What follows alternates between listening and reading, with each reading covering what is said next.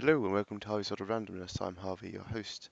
Uh, now, in this video, I'd like to talk about how I use Windows 7 safely in 2025 and all the modern stuff I can I can still do, and and, and you can still do if you choose it. Uh, of course, uh, a, a, few days ago, um, on on the 14th of October, Windows 10 stopped getting support, and uh, I don't much like Windows 11 to be honest, and the hardware I have um, wouldn't support it either but, uh, but that's fine because I've got Windows 7. Anyway, so, so what can I do? Um, web browsing could be the first one. Uh, gaming, what modern games still support Windows 7? To my knowledge, that is. Uh, I'm, still I'm sure plenty still do. Minecraft still does, which, which we shall get into. Um, oh yeah, of course, anti-malware software. If I can type. Um, and just other general software, um, you know, like Audacity, for example, which I have here. Um, so, web browsing, the first one. Now, I have two web browsers here that are fully up to date. Um, the first one, the, the one I heard about first, was called Supermium, which is based on Google Chrome. It is essentially Google Chrome, and uh, a fork of it, and it's designed to run on Windows XP uh, and above. They've even one of their goals I, I, I saw was to to get a, a ver version for, for Windows 2000, which I think is awesome. Um, but yeah, and it's a fairly modern web browser. This, if I go uh, about Supermium.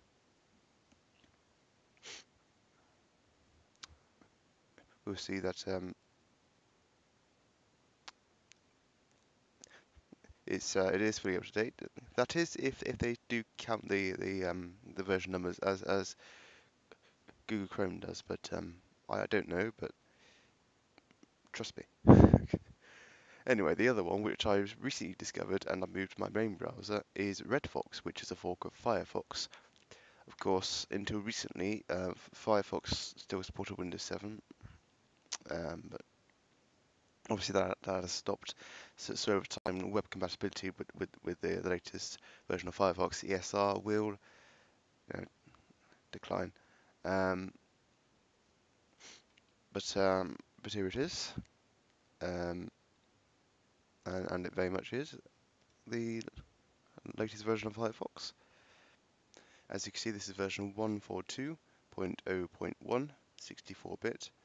Um, I'm not sure if it does work on Windows XP. I haven't tried it. I, apparently, I do. I think I, I, read on the website that it doesn't. Um, and and I seem to have some problems with with the 32-bit version of this. Um, but uh, yeah, let's see. RedFox is designed by Eclipse Community, a global community working together to keep the web open, public, and accessible to those who use Windows 7/8 and Vista as well. Um, yeah. So that's that. Now, even the uh, software that came with the G GPU drivers, I've got a, a Radeon RX 550 series GPU in this computer, and, and, even the software has its own web browser. Oh, I'm, I'm missing away here, but um,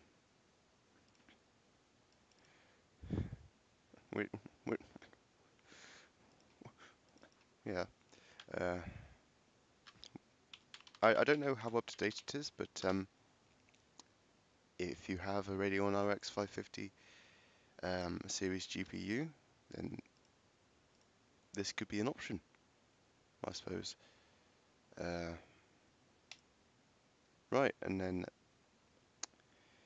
that concludes web browsers, I suppose. Um, I do also have Internet Explorer 11 because that's the latest, and, and, and you need it for certain web, web compatibility anyway uh, in other web applications other than browsers.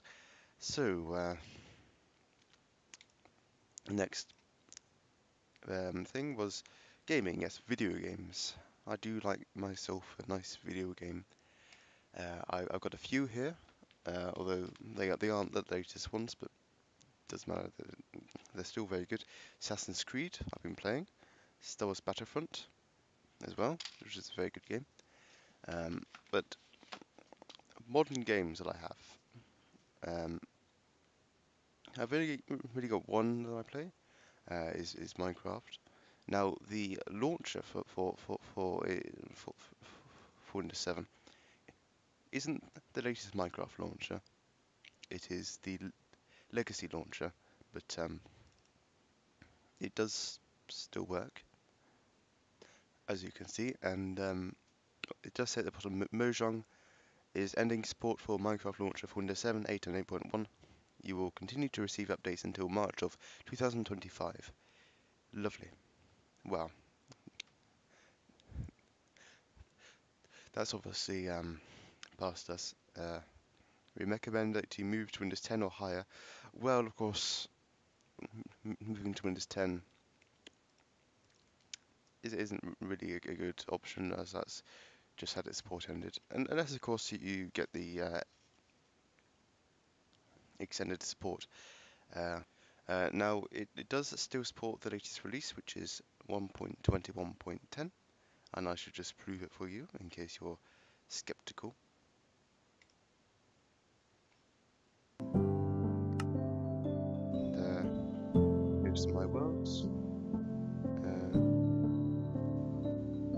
This one I've been building a, uh, hobbit hole. Uh,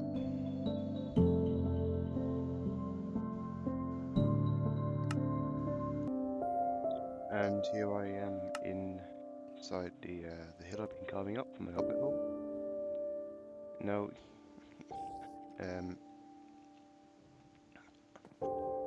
Obviously screen recording, uh, especially with the webcam here, is going to slow things down a bit. So uh, now the hardware is, of course, is going to is what's going to affect performance, as we should know, not the actual, well, not really the operating system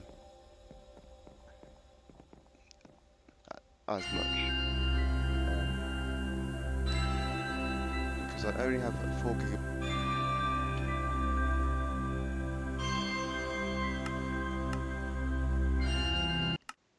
only have 4 gigabytes of RAM, for example. Of course, uh, I think Windows 7 can support up to 16 gigabytes. Now, in the system I've got, I think it can support up to 8, but I haven't got um, 4 sticks of DDR2 RAM. So, uh, so for the moment, but it's fine, you know.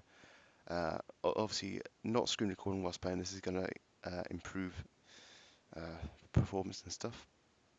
But um, yeah.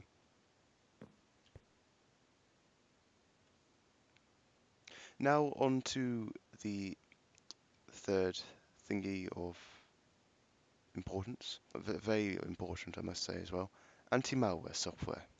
Now, to my knowledge, um, last time I checked, certain anti-malware software like, for example, Malwarebytes or Bitdefender does still support this system, although that may have been possibly just over a year ago, or, or, it could have been just a matter of months ago. I have honestly forgotten. But uh, as you can see, I currently have Norton 360, so yeah, and which obviously still supports this system. I hope.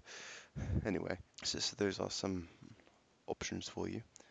Uh, now, other general software, for example, Audacity, as I mentioned, um, does still support Windows 7 and VLC Media Player.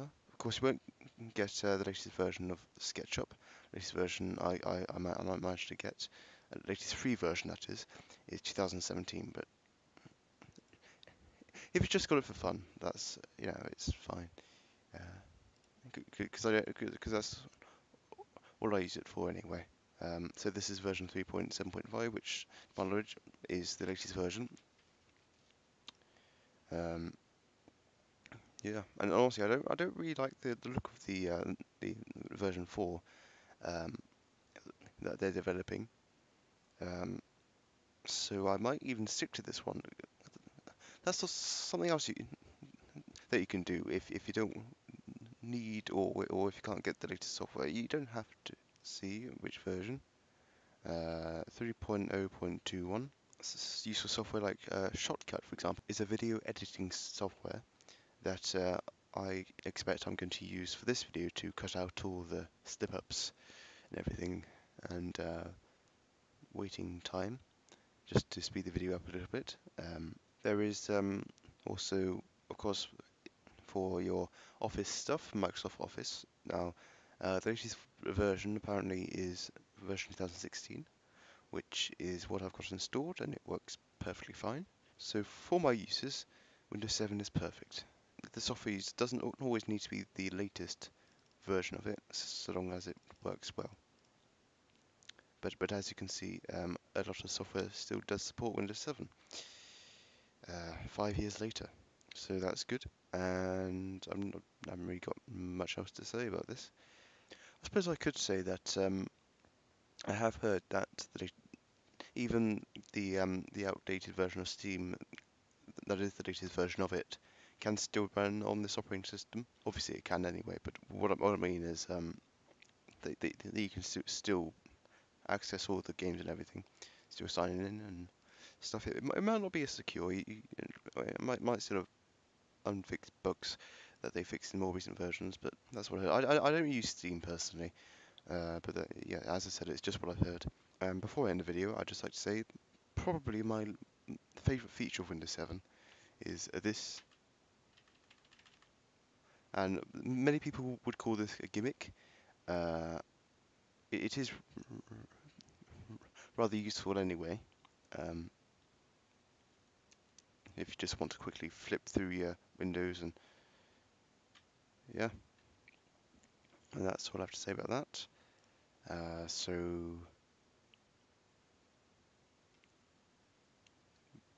bye for now